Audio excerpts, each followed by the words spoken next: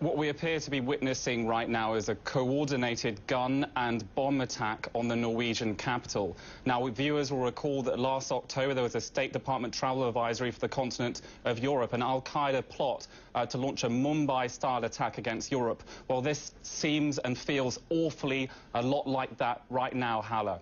Mm. So just to tell our viewers what we're talking about here, we understand uh, from NRK, the uh, state broadcaster there, that there is an attack ongoing on Utoya Island where there's a youth rally or a youth meeting of the ruling Labour Party. So this is not something that has come to an end yet, Paul.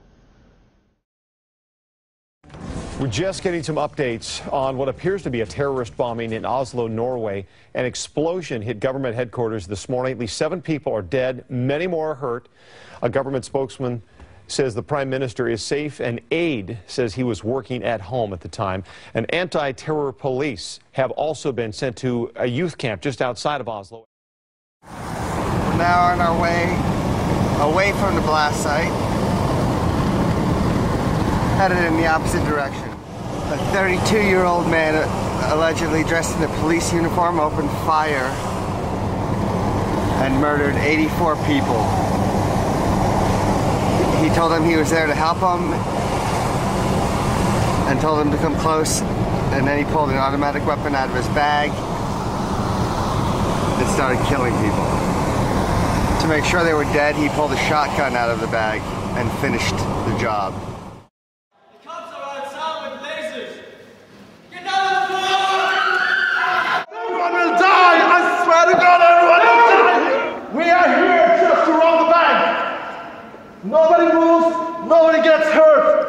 Are we clear on that? Ransalarmen går. Minutter senere er banken omringet av store politistyrker med skarpskyttere. Hovedinngangen til DNB Nord er som dratt ut av en Hollywood-film. This is going to be a great movie. I worked with Steven Spielberg. I've been involved with Warner Brothers. I have a massive film background. To filmprodusenter er ilagt en bot på 50 000 kroner, mens DNB Nor er bøtelagt med 30 000 kroner, etter at politiet i Bergen måtte rykke ut til det de trodde var et bankran. Get down on the floor! You wanna live? Stay down! We will kill everybody in this bank! It's just a pretend scene. It's fiction. It's not a real bank robbery. We're making a movie. They're all fake, they're all BB guns, none of them are real. Det skal jo ikke skje, selvfølgelig. Så det som vi uh, kommer til å se på, det er jo eventuelt uh, hvilken straffeforfølgelse det kan medføre dette. The whole damn town is involved in a plot against us.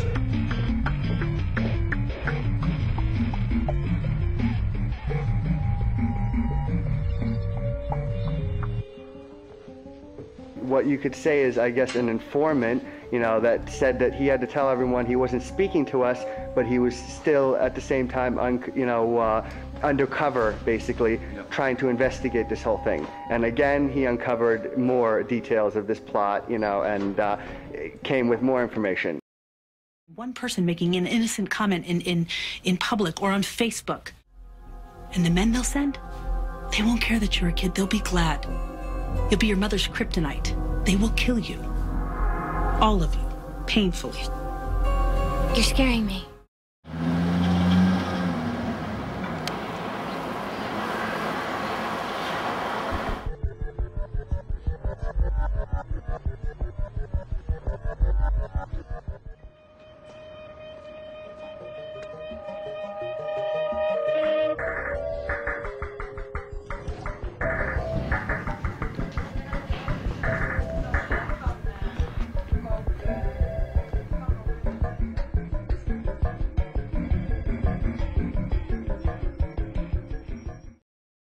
Uh, we doing we did nothing wrong. Can you please make sure the police do not take my videotape?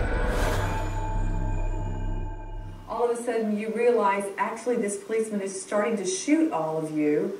Uh, did, were you? How close did you get to the shooter? Were you able to see him? One of the girls starts crying, and she told me that there was a policeman with a bald head that had started shooting them.